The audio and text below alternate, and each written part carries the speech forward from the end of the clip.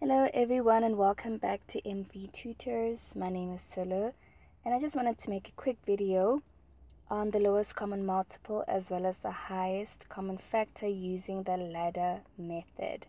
Alright, so you'll find that sometimes in your test they will ask you to specifically use the ladder method. And if that's the case, how do we go about doing it? Alright, please don't forget to like our videos as well as subscribe to our channel. Please do you uh, refer your friends to our channel and yeah enjoy the video. So let's say I have the numbers 16 and 40 all right and then I say uh, please use the ladder method to find the lowest common multiple. All right so before I would write down the the multiples of 16 and then the multiples of 40 and then find which one is the lowest common multiple. But if we use the ladder method, it's a bit different, okay? So I'm going to try one form of the ladder method. So I have 16 as well as 40, all right? And when we start with the ladder method, this particular one, I think it's the American way of doing it, I'm going to use prime factors. So I'm going to say what is the lowest prime factor I can use that is common between 16 and 40. I'll start with 2. Alright, if I divide by 2, I get 8 for 16 and I get 20 with regard to 40. I can divide by 2 again. I have 4 and on this side 20 divided by 2 is 10. I can still use 2. Alright, and if I divide that I get 2 if I say 10 divided by 2, I get 5. So what I do, I then get my L. what do I mean by that? This is my L. And then I multiply all the numbers that are in the L. So basically the lowest common multiple would be 2 times 2 times 2 times 2. Alright, which is 16 and multiplied by 5 I actually get that the lowest common multiple is 80.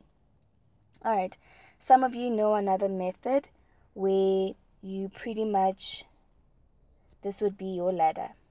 Okay, this is the South African method that I've seen. so we look at 16, alright? So now when I look at 16, um, that's basically 2 times 8. Okay, it's still similar. And then with 2, I'm done because the factors of 2 are just 1 and 2. But if I look at 8, that is basically 2 times 4. And if I look at 4, that's 2 times 2, and that's where it ends. What about 40? Let's move it a little bit. So 40, I have 2 times 20, and then 20 is 2 times 10, and then 10 is 2 times 5. And that's it, I can't go further. So with 16, I basically have 2, 2, 2, and 2, right? 2 to the power 4. And with 40, I have 2, 2, 2, and 5. So what we do with this method, we say, okay, we have 2 that's common. Alright, so if it's common, we write it only once. Again, there's another 2 that's common from both sides. We write it once. There's a third 2, and what we're going to do, we're going to write it once. Then what are we left with? We're left with 2 and we're left with 5. So we're just going to write it as it is. Okay. And basically, I have 2 times 2 times 2 times 2, which is 16 times 5, which is 80. Very similar methods. Um, you'll just confirm at school which one is actually preferred and just use that one. Okay, so that is the lowest common multiple of 16 and 40. What if I wanted the highest common factor? Okay, let's look at, I don't know, do you want the same numbers, 16 and 40? or different numbers? Let's go with 24 and 36. So highest common factor of 24 and 36. All right, so what I would do with one of the ladder methods, I would use both 24 and 36 and then go and look for the prime factors. Okay, I'll draw this line. So if I divide by 2, both sides, I have 12. and 18 that remains. If I divide by 2 again, I am left with 6 and 9. Now 2 cannot get in 6 and 9, so I need to use 3. okay, if I say 6 divided by 3, I get 2. 9 divided by 3, I have 3. And I cannot go further. Alright, if I were to look for the lowest common multiple, remember what we do at this point. What we do would just say this is the L. Okay, but we're not looking for the lowest common multiple here. We are simply looking for the highest common factor.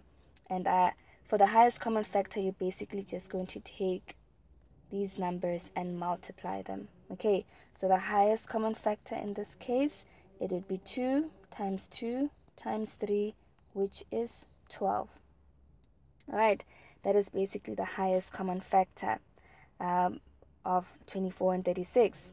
Now, if I were to use the other ladder method, where I say, okay, with 24, mm, rather let me just write it at the bottom.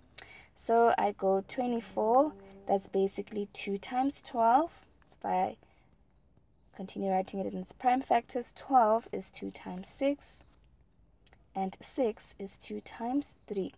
Then I look at, uh, what's the other one? 36. Okay, so 36, I have 2 and 18.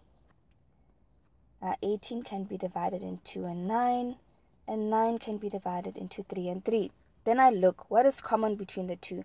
I have a 2 here, I have a 2 there, great. I have a 2 here, and a 2 there, awesome. I have a 2, but there's no other 2, so 3 and 3. So basically, the highest common factor would be 2 times 2 times 3, which is 4 times 3, and that is 12. Alright, similar methods, a um, little bit different, but that's basically what you're going to do.